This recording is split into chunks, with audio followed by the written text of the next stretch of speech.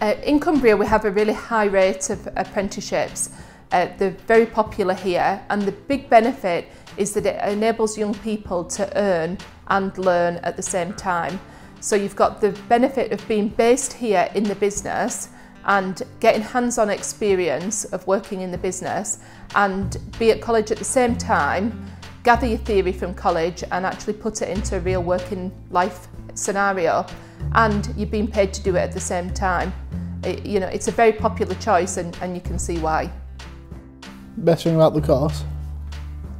Well, obviously you're learning as you're doing it. So I'm at college and I'm getting paid to be here.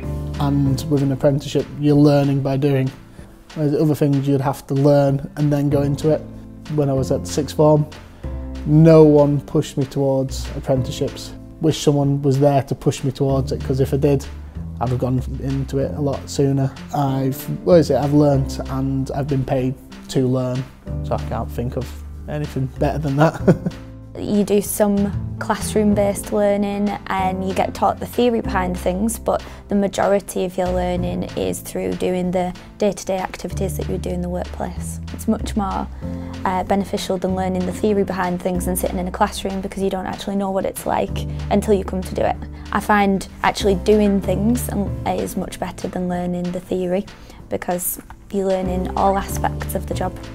I think that the way the apprentices are going now, moving on from level three and four to level seven, is absolutely brilliant. So you can now do a master's and still be called an apprentice and have it funded by the government. And that, particularly in the last three, four years, has has made people want to do those more, whereas it used to be a trade and, and you were kind of at a certain level. It's now opened up a whole new ball game to, to everybody really and I think a lot of people maybe don't realise that the level 7 masters you can do via an apprentice.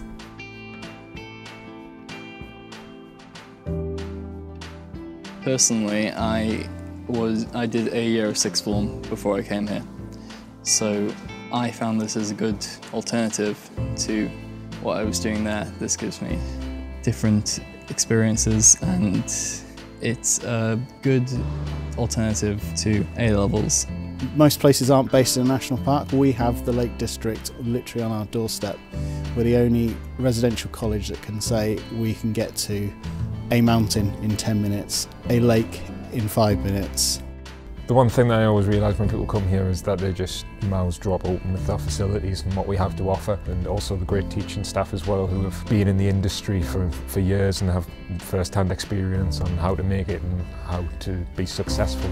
I believe BTECs are an absolutely brilliant programme uh, specifically for students who may not be able to demonstrate their competence and ability in the form of a two-hour exam. What we say is education should almost mirror what's happening in work and we don't judge somebody based on what they've done in the morning or afternoon. We judge somebody on what they've been doing over a period of time and that's what the BTEC is designed to do.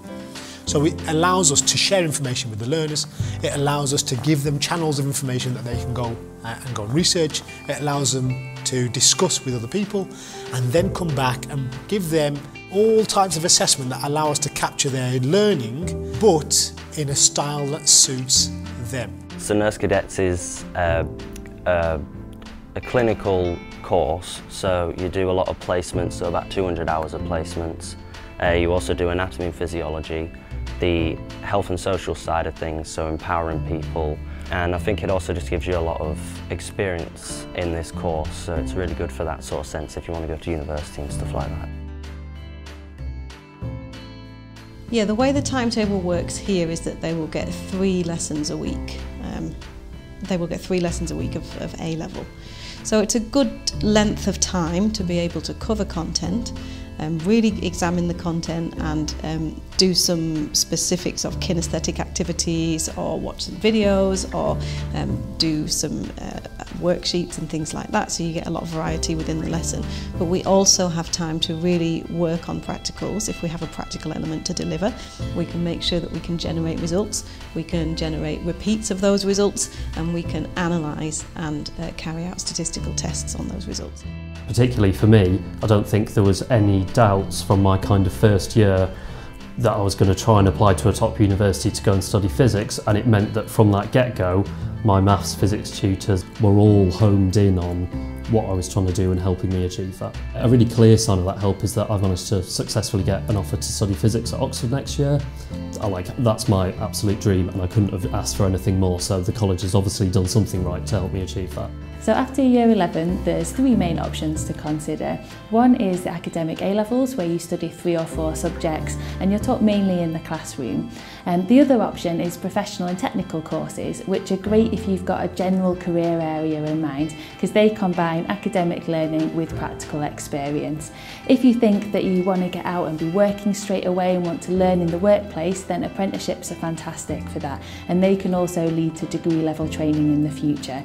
The main three things to think about really is what you might be interested in career or course-wise, how you want to learn, so classroom, practical or a combination, and then thirdly, what environment do you want to be in? Do you want to be in a school, a college or out in the workplace?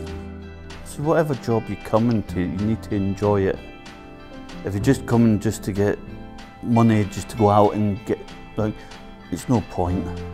So if you actually go for whatever apprenticeship, whatever college course you go on or whatever to start your career, make sure you enjoy it.